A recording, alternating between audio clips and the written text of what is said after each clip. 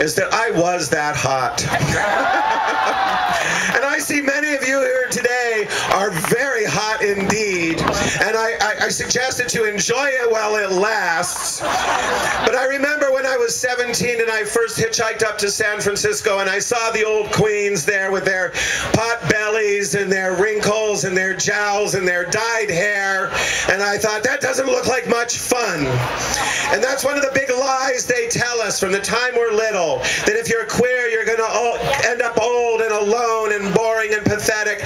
And I want you to know I'm 54 years old and this has been the best freaking year of my life. so enjoy it while you got